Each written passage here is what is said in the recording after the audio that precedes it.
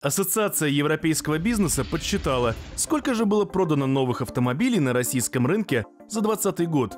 К несчастью, осенне-зимняя гонка, когда клиенты сметали из автосалонов буквально все, что имеется, не смогла исправить общую ситуацию. Итогом года стало 9% падение продаж. Тройка лидеров оказалась неизменной. Лучше всех расходится продукция «Лады», которую пытаются догнать Kia и Hyundai.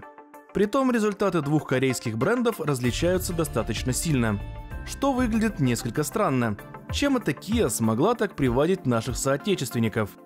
У абсолютного большинства марок ожидаемый минус по числу продаж. Однако BMW, Skoda, Suzuki и коммерческий Ford умудрились сработать в плюс, а китайские бренды Chang'an, Cherry, Geely и Havail подросли ну очень солидно. Похоже, давно обещанная экспансия машин из Поднебесной когда-нибудь да состоится. Что касается моделей, то тройка лидеров не меняется уже давным-давно. За грантой следует Лада Веста, которых всеми силами пытается опередить Kia Rio. И вообще, рассматривая топ-10 хитов российского рынка, удивление заслуживает только один факт. Среди народных затесались недешевые Toyota RAV4 и Volkswagen Tiguan –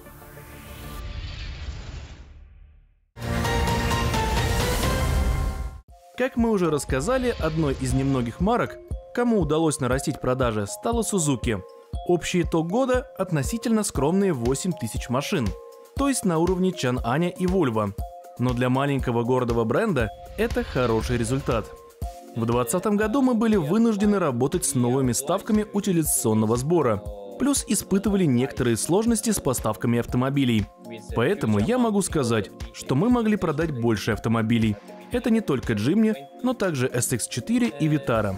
Более того, 20 стал четвертым годом подряд, когда японцы наращивают продажи.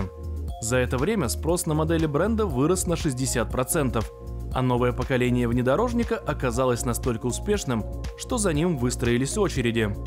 Между тем, по словам главы российского офиса Suzuki, в ближайшее время гамма будет по-прежнему состоять только из трех моделей. О локализации речи пока тоже не идет – то есть Jimny, SX4 и Vitara продолжат возить из-за границы.